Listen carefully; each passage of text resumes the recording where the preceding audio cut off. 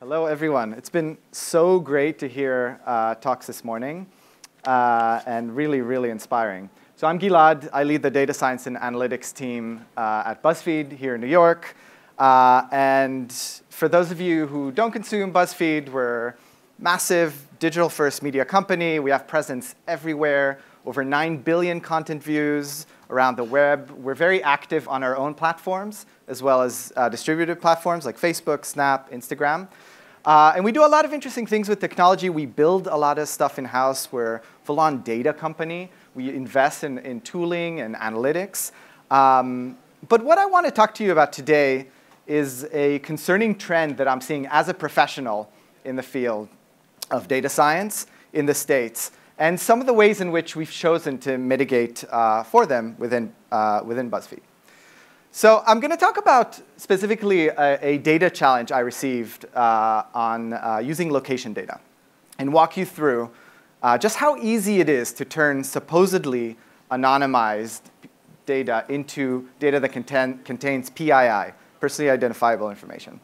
So I got an inbound from an independent journalist who gave me a challenge, a data challenge. He said, I'll give you a data set of someone's location history, latitude, longitude, timestamp. That's it, a few weeks. And your challenge as a data scientist is to figure out who this person is, right? It's like, can't turn down an interesting data challenge.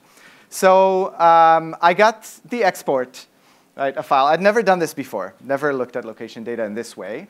And this is a typical export from Google Maps, anyone who's opted in. And in many cases, you're automatically opted in. You have to opt out. Um, so you get uh, timestamp, latitude, longitude, some uh, uh, profile of accuracy, uh, altitude, right, how high you are. And then the phone is clearly, or Google is clearly trying to predict whether you're moving in a car or whether you're still, right? So you get all this latent data within the, uh, within the data set. And so what you do as you first start exploring this data as a data scientist. You try to plot the different parameters. Um, so in this case, the y-axis is altitude, x-axis is time. Why do you think, what are these spikes, and why are they going below and above the median? Any guess? Flights.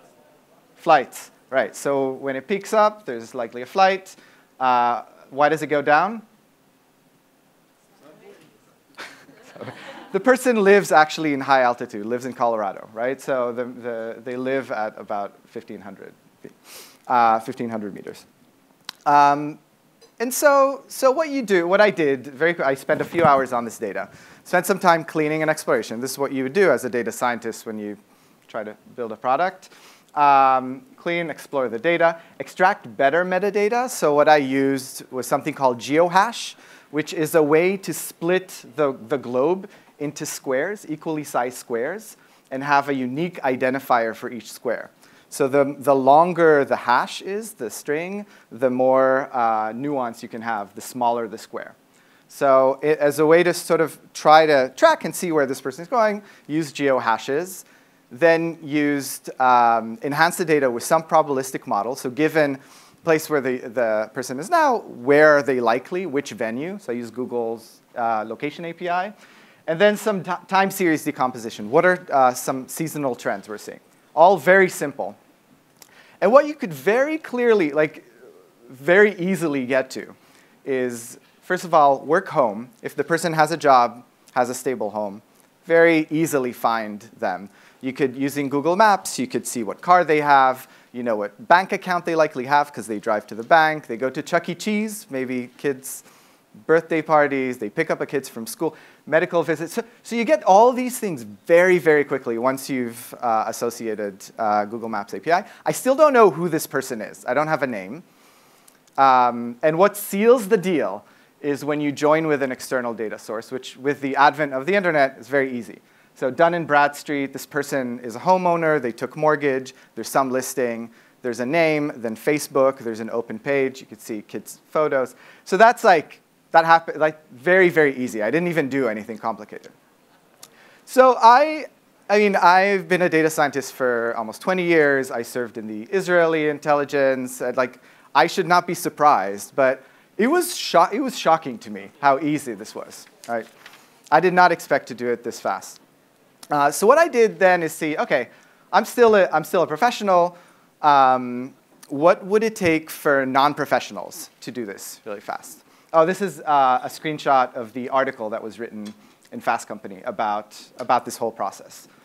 Um, and what the journalist highlighted was that the location data is being sold en masse by companies like AT&T uh, with the claim that it is fully anonymized and aggregated. But as you can see, anyone who has access to log-level data can de-anonymize it. So I decided to teach a class at NYU, a graduate data science class, and say, okay, what, how, how easy is this for non-professionals? And these were, this was an introduction to data science class, people had never touched Python before. Um, the whole focus of the class, was called Surveillance Society, figure out how quickly can these groups figure out the name of the target if each gets a data set, which I provided them, of someone in my network.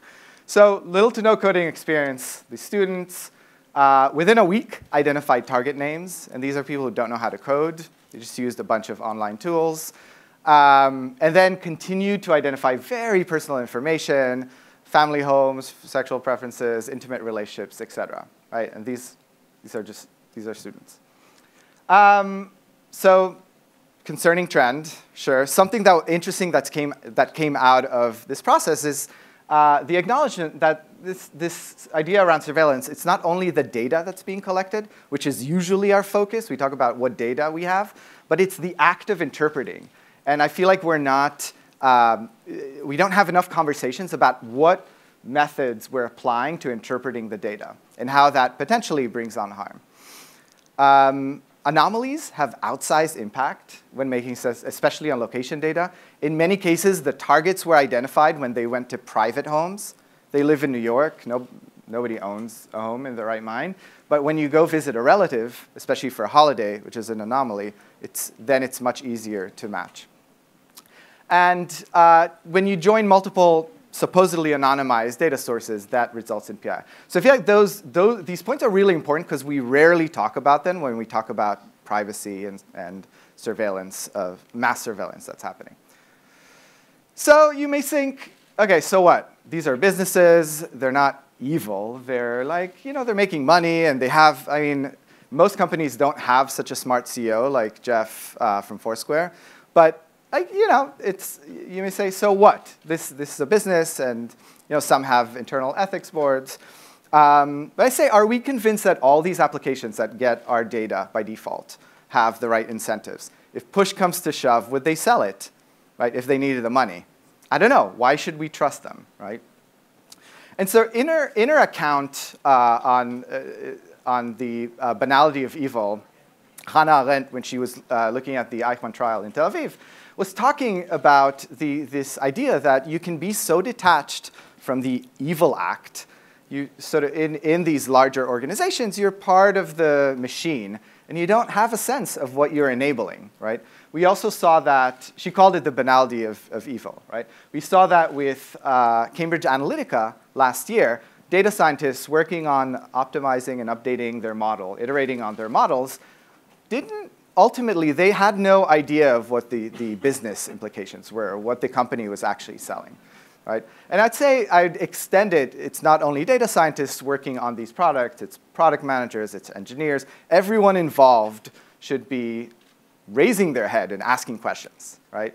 And so what we did at BuzzFeed very quickly, because I'm about to run out of time, we've instituted a set of processes and tools to make sure we are able to raise our heads, right, to ask the right questions and stop problematic processes that uh, don't uh, align with, with the company's values. So around data collection, we've obviously implemented GDPR uh, in, outside of the US, but we are, when we, when we try to integrate a new data source, we ask, why do we need it?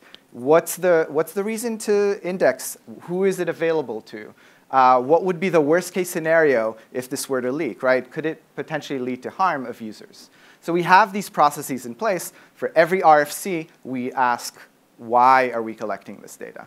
We also build a, a, number of scenarios internally. What is the worst case that could happen?